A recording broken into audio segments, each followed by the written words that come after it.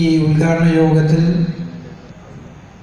ഈ നാടക മത്സരം ഉദ്ഘാടനം ചെയ്ത വിദ്യാധര മാസ്റ്റർക്ക് കേരള സംഗീത നാടക അക്കാദമിയുടെ പേരിലും നിങ്ങൾ ഓരോരുത്തരുടെ പേരിലും നന്ദി രേഖപ്പെടുത്തുന്നു.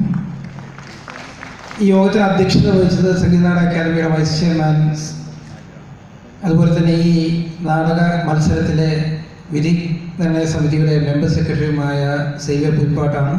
അദ്ദേഹത്തിന് നന്ദി രേഖപ്പെടുത്തുന്നു. ഈ യോഗത്തിൽ സംസാരിച്ച നിർവാഹക സമിതി അംഗം ഒരുപക്ഷെ വടകരയുടെ വളരെ നല്ല രൂപത്തിലാണ് വടകരയിൽ ആ മത്സരത്തിനപ്പുറം അതൊരു ഉത്സവമായി നാട്ടിന്റെ ഉത്സവമായിട്ടാണ് അത് അവിടെ പ്ലാൻ ചെയ്തിരുന്നത്.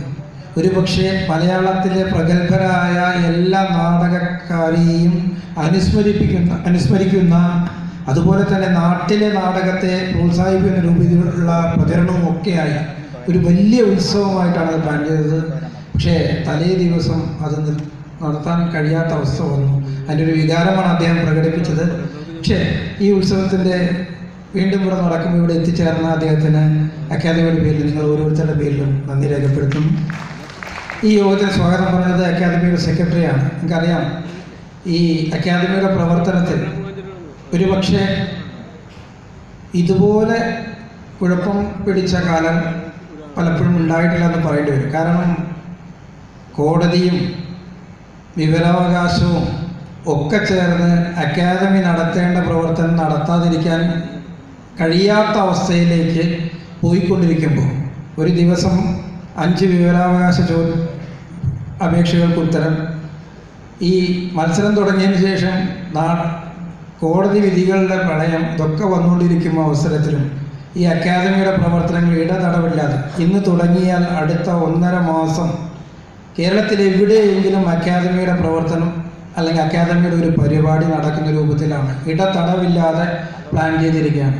അതിന് ചുക്കാൻ പിടിക്കുന്നത് സെക്രട്ടറിയാണ് വളരെ കൃത്യമായി തന്നെ അത് മുന്നോട്ട് കൊണ്ടുപോകുന്ന അദ്ദേഹത്തിന് ഈ അക്കാദമിയുടെ പേരിലും നിങ്ങൾ ഓരോരുത്തരുടെ പേരിലും നന്ദി രേഖപ്പെടുത്തുന്നു. ഇനി പറയേണ്ടത് നിങ്ങളോടാണ്. ഈ ഒരു കലാകാരനും അവന്റെ കലാവിഷ്കാരം പൂർണതയിലെത്തേണ്ടത് തീർത്തും പ്രേക്ഷകരിലൂടെയാണ്.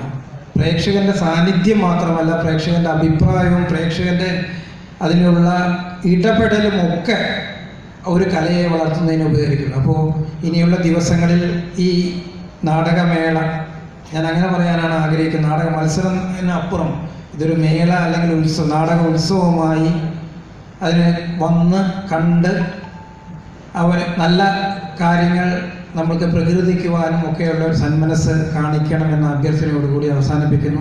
നിങ്ങൾക്ക് എല്ലാവർക്കും അഭിവാദ്യങ്ങൾ. സമയം വൈകിക്കുന്നില്ല. ഏറ്റവും അടുത്ത സമയത്ത് തന്നെ ഇന്നത്തെ നാടകം ആരംഭിക്കും.